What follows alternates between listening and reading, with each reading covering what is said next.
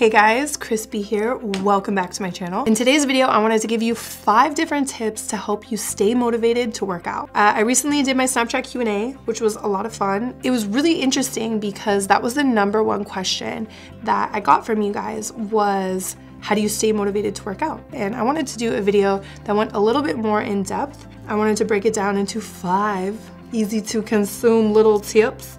Um, so yeah. Side note, I hate this lipstick. Because if any of you were gonna tell me that it wasn't, you didn't like it, I beat you to the punch because I also don't like it. Anyways, um, let's get into the video. All right, so number one, you have to get over the hump. If you're just starting to work out, or maybe you're just getting back into it, there's always that initial period where you don't wanna go. So even me, like I'll take a week off and like getting myself to work out that first time again is always the hardest. But you have to push yourself through that first little hump because the second time's not gonna be as bad, the third time's not gonna be as bad. And before you know it, you have a routine and you're used to doing something and it's not as hard. You have to recognize that that resistance that you're feeling, that difficulty of like, oh, I don't wanna do this, I hate this, like it's not gonna last. So if you can just push through that little hump, the rest of it's gonna be easier. Times when I've been not as on it, I was waiting for motivation to happen to me. I, have talked about this before, but I've been waiting to feel like working out. So instead of waiting for motivation, you have to be your own motivation. Tip number two is to establish a routine. Now I finally have a routine where I wake up in the morning and working out is the first thing I do. Anytime I work out, I always do it the first thing. It's the first thing I do in, in that day. Not only because it's the hardest thing, but also because it reinforces healthy eating throughout the day. I'm gonna make smarter choices because it's all, it almost feels like, well, I don't want to waste it. Like I put in this work and then you're going to undo it by eating unhealthy. It just doesn't, it doesn't make sense. I've also like read a bunch of articles and listened to podcasts like studying the habits of really, really successful people and almost all of them work out every day in the morning. They wake up a lot earlier than I do though, you know. But I mean, we share that in common. When I first started working out, I worked out at night and I would be thinking about it all day and kind of dreading it. So now I like working out first thing in the morning because like I said, it, just, it sets a tone for the rest of the day and I'm not thinking about it, it's done. And um, yeah. Also, in terms of establishing a routine, you really have to prioritize working out. Sometimes when I get busy, I'll be like, oh, well, I'll work out when I have time, and I don't really prioritize it. I'll like, yeah, it's like the leftovers. Like, oh, if I have time, like maybe I'll work out. Really, it's like when you're putting working out first, you're putting yourself first. All right, so number three is do exercises that you like doing. So like if you hate the Stairmaster, don't do the friggin' Stairmaster. This is super important because if you don't like what you're doing, you're not gonna wanna go to the gym. Focus on the exercises that you like doing.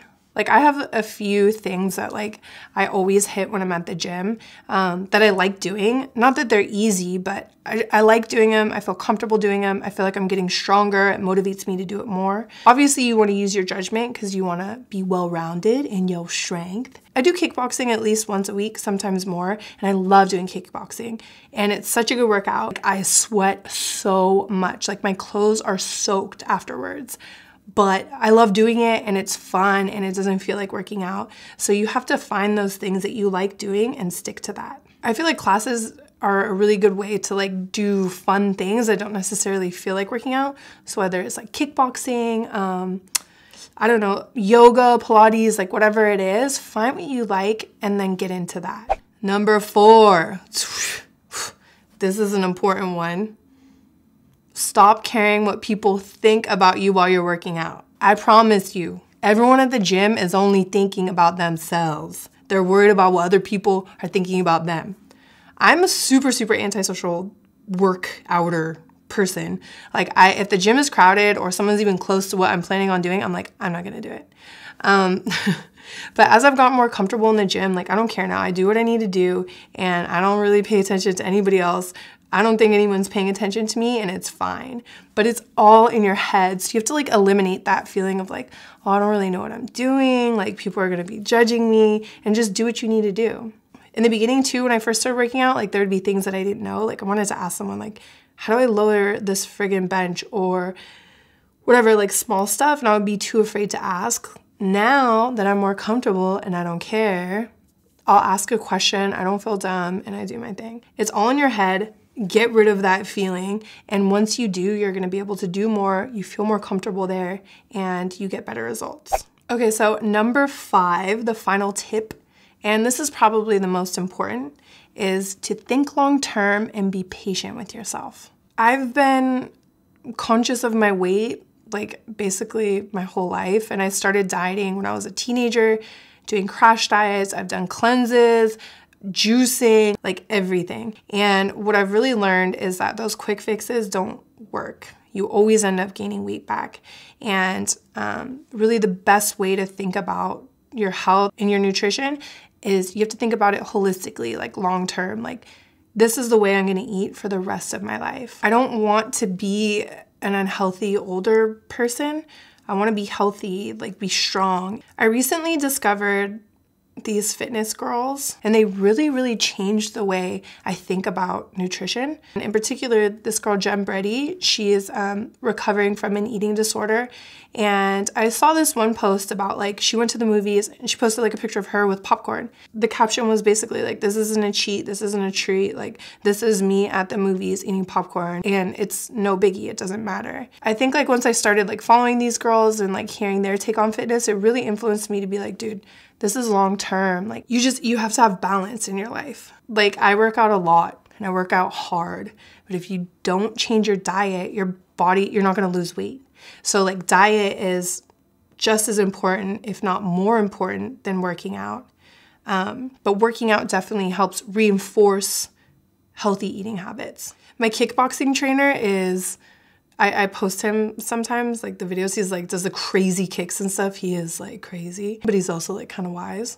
But he always tells me, he's like, you have to love yourself. You have to put yourself first. And it's always like, yeah, that's great. Like that sounds real straightforward. Like love yourself, obviously. But I think what he means by that is you have to put yourself first and you have to do the things that you know are good for you, like working out and eating healthy. And when you make a bad choice in a way like you're denying yourself of the love that you deserve. Gym time has become me time. And I didn't feel that way a long time ago. Like I used to hate going to the gym.